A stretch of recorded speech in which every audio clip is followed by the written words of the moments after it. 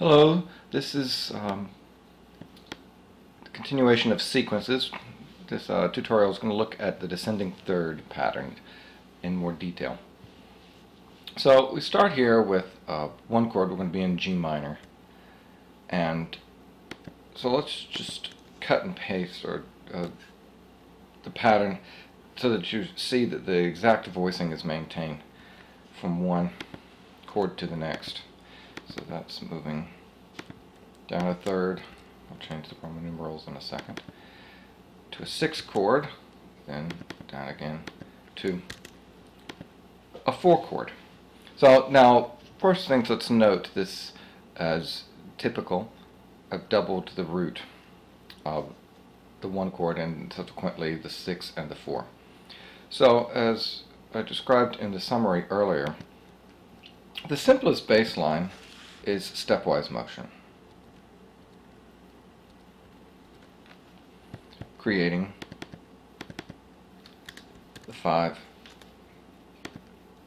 5, 6 chord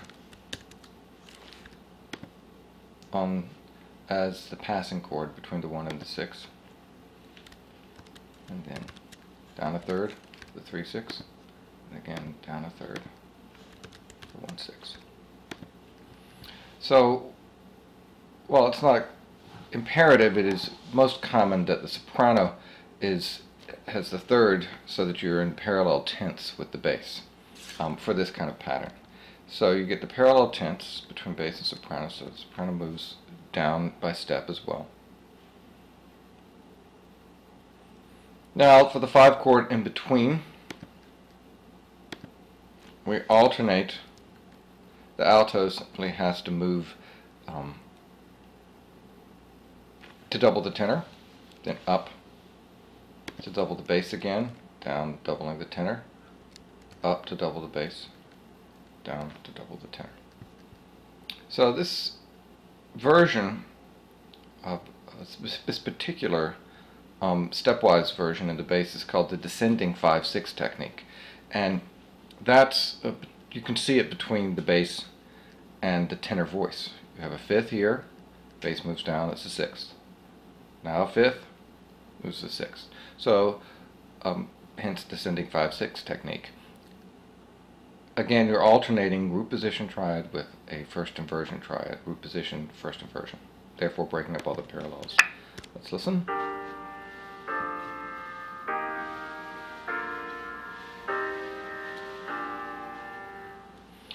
I want to call attention to the fact that the 5-6 chord here does not have the raised leading tone. It's just the natural uh, 7th scale degree.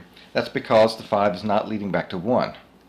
If it was a 1, 5, 6 to 1 common progression that we've been doing a lot this semester, that would be do, ti, do in the bass. But when it moves on to a 6, it's a do, te, le. And that's um, true for any case where the leading tone is not leading back to a 1 but going to another chord. Alright, let's look at another version of this basic progression, the root position version. Oops, wrong voice. Move the bass down to a root position 5. So this is the famous Pachelbel canon bass. In the minor it's Do, Sol, Le, Me, Fa, and then Do. Now, that, if you'll look up now, without making any adjustments, is the exact same thing as the alto voice. So what the alto does is basically takes the bass voice. It moves down in thirds with the soprano. So essentially the alto and the bass are switching voices. So let's listen. Oops, that wrong chord. Let's listen to that.